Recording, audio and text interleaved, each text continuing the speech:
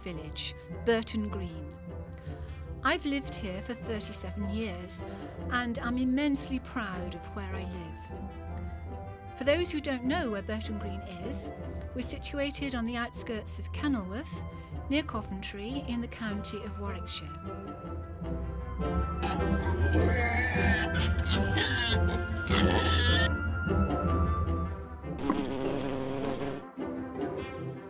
There are three main focuses to the village the school, the village hall, and the greenway.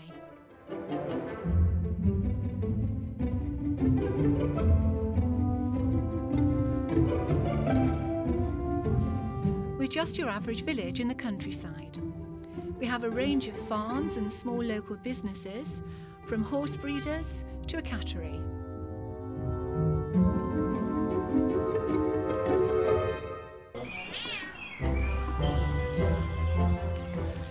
Behind me is Burton Green, common land which in the 19th century would have been the centre of the community with two up, two down cottages um, clustered around it. 100 yards down Hob Lane is Burton Green Church of England Village School, which was founded in 1842. Well, I started this school in 1938, and at that time, I presume, but looking back, it was the hub of my world just to meet my friends here every day.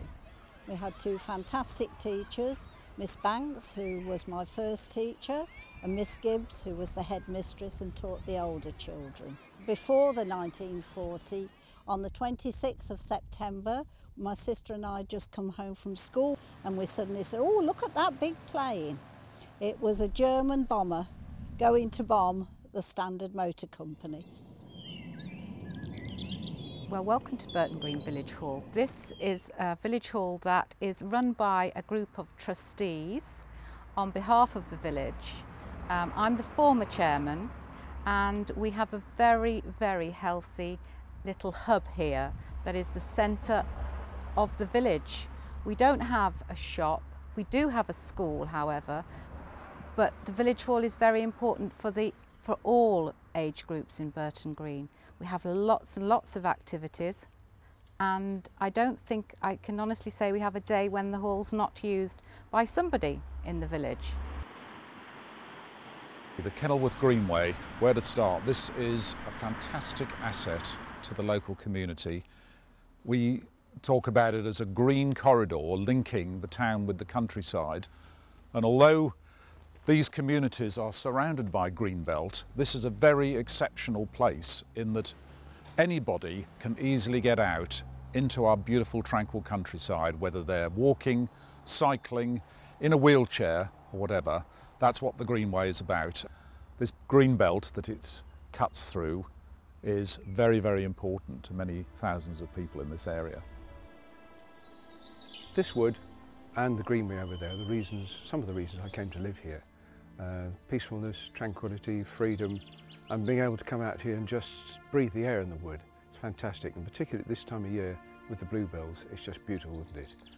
An ancient wood is what's grown up from the end of the last ice age when the glaciers retreated and this wood would have been here for about 10,000 years at least. Um, historical records for this wood go back to 1542. That in itself would define it as an ancient wood. I served in World War II. I was a sailor. The tender age of 19, I went to Omaha Beach on D-Day. I also served in the Arctic. 700 men died aboard the kind of ship that I served in. In fact, I'm told that of the Arctic people who uh, are left alive, I'm one of 200. I'm concerned with the land and the peopling of the land, and this is why I'm standing here to this day. I look at each tree as a living testimony to life in general. Within the village, we have several listed buildings. Well, we've lived in this house for come over 10 years now. Um, it's a much loved family home. Um, it is a grade 2 listed building and it sits on agricultural land effectively and in a very protected part of the green belt between Kenilworth and Coventry. In January 2012, the go-ahead was given to High Speed Rail 2, which will plough straight through the middle of our village. This crisis and struggle is nothing new to us. Back in the 1980s, there were plans to build a super pit here. However, we fought, stood our ground, and managed to stop the pit. We've done it before and we will do it again. We will fight to save Burton Green.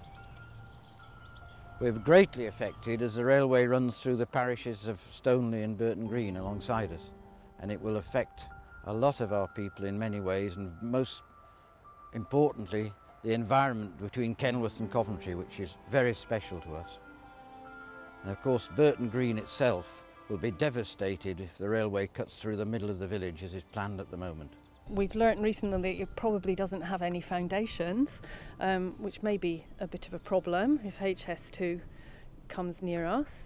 Uh, if HS2, if we could believe that HS2 was in the national interest, our feelings may maybe we would understand it a bit more, but we don't understand um, that it's in the national interest. Irrespective of whether you agree with the construction of this train or not, people have to realise that its impact on the population as a whole, either financially or for the people who live adjacent to the line, is going to be enormous. If we say the cutting would be 50 metres wide on completion, and the end of it, while it's being constructed, that could be 100 to 125 metres wide. Now that ground will be completely ruined for years. A quick analogy, further along the line, there is a cross-country gas pipeline that follows the light route. When that was put in, and we're now talking a 28 inch pipe or thereabouts, the farmers who own that land couldn't use that area where that had been constructed for over four years. What's different about ancient wood is that it's a community of species, plants, animals, insects, fungi, microbes in the soil, in the soil and bacteria. They're all interdependent and they've been here really for the 10,000 years interacting with the soil and of course the soil, all those things are dependent upon the underlying geology and also the topography of where the wood is. So these are things you can't replace, it's just absolutely impossible. Any suggestion that you could remake an ancient wood somewhere is just absolute fantasy. If it goes ahead, it will have a knock-on effect on all people in England, not just people up and down the track. I come from Australia and um, I'm very conscious of what brings people to England and one of it is the, the tourist industry and all the things it has to offer. And one of them is uh, the ability to walk through fields and tracks and historic areas which you don't necessarily find in Australia.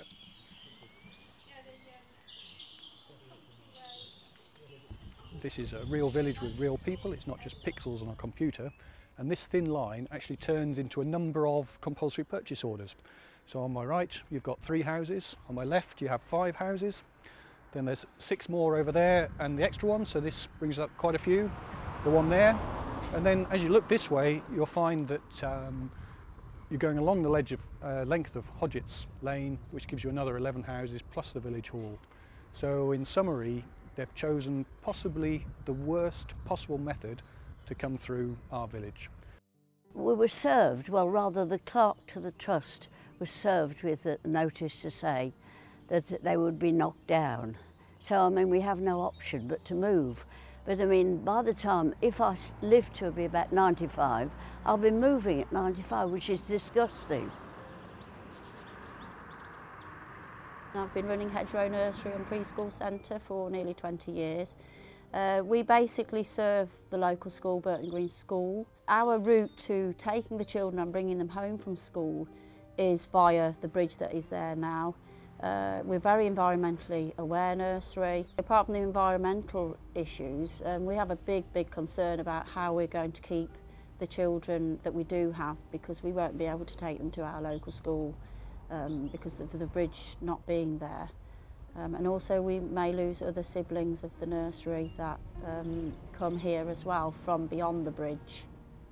So it is a very, very, it's a big worry. We're a small business, small nursery, been here 20 years, and it's going to make a quite a large impact without being dramatic.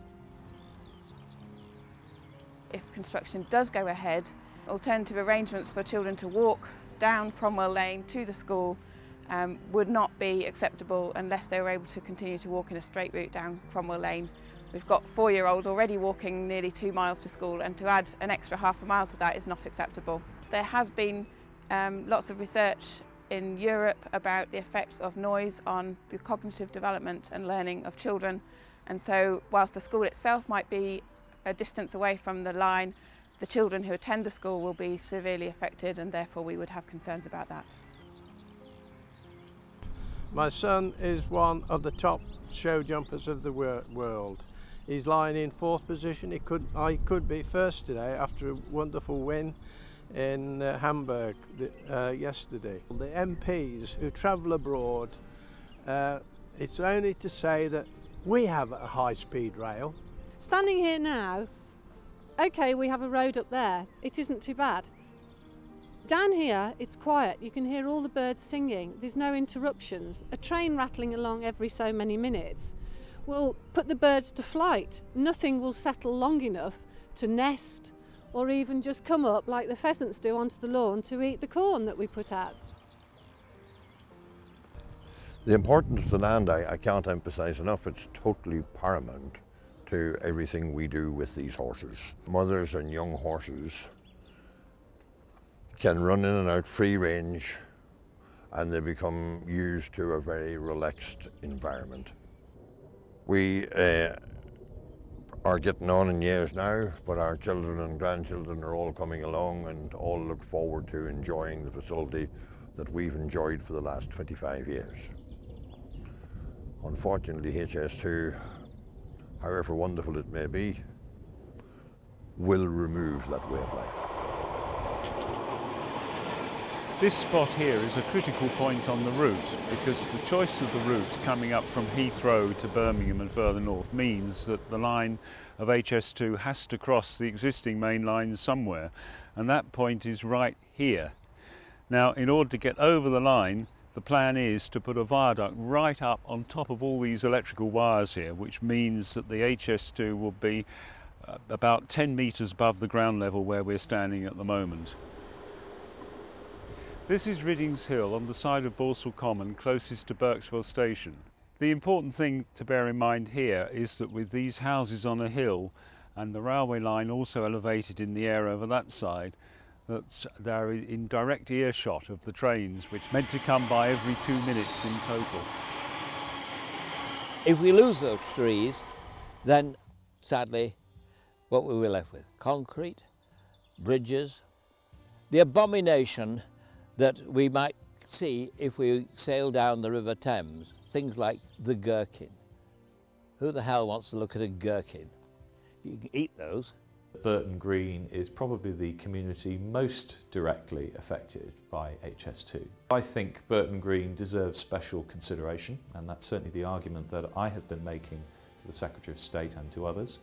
And it seems to me also that we have to think about the proper level of mitigation for Burton Green. Now, I think that a cut and cover tunnel, as it's referred to, is better than an open cutting. But I also think that a deep bore tunnel is better than a cut and cover tunnel. And I think if we were to secure that for Burton Green, it would avoid the worst effects of the railway. And I think that would preserve the remarkable community that Burton Green is for the future. We are not NIMBYs. We are a community in crisis.